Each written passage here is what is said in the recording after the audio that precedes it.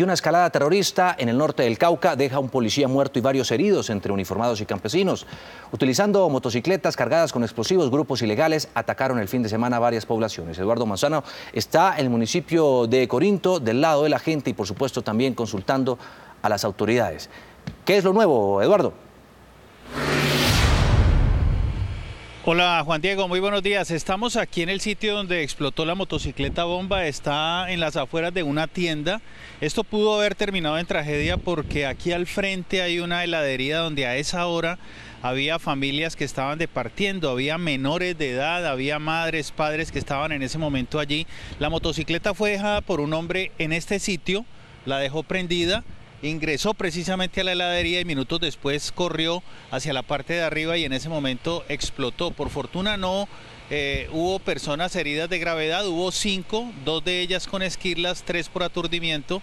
Pero yo quiero preguntarle aquí al alcalde de esta localidad, Eduard García, señor alcalde, ¿a qué atribuye usted esta situación? Se habla por parte de los eh, organismos de seguridad de disidencias de las FARC. Pero ¿qué es lo que está pasando aquí en los municipios del norte del Cauca? Pues a ver, nosotros nunca tuvimos conocimiento bien si le cumplieron bien a todos los desmovilizados. Aquí en este municipio no arrancó el proceso de implementación de los acuerdos de paz, eh, la sustitución de cultivos de ilícitos tampoco arrancó, quedaron 1.900 familias con las expectativas de arrancar este proceso y nunca se hizo.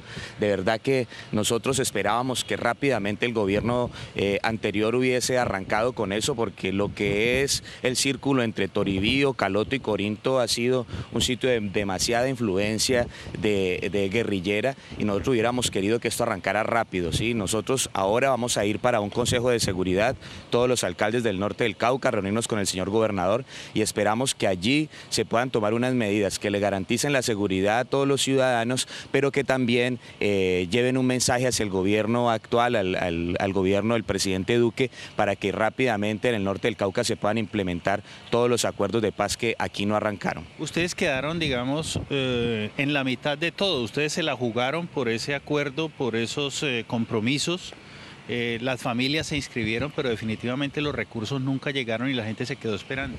Sí, aquí lo que pasó fue que nos dijeron que nosotros íbamos a ser los alcaldes de La Paz, vinieron y firmaron acuerdos con las comunidades diciéndoles que les iban a hacer pequeñas infraestructuras comunitarias, eso no arrancó, la gente todavía está esperando que eso llegue, esperamos pues que eh, rápidamente se pueda arrancar acá en el norte del Cauca porque esta región lo necesita. Muy bien, muchísimas gracias el alcalde del municipio de Corinto, Eduard García, y la situación que se presentó acá en el norte del departamento del Cauca. En las últimas horas, eh, en la noche también hubo un eh, hostigamiento contra la estación de policía del municipio de Toribío en el norte del departamento del Cauca. Allí 12 granadas de fabricación artesanal fueron lanzadas contra eh, la estación de policía, pero por fortuna pues no causaron ninguna tragedia.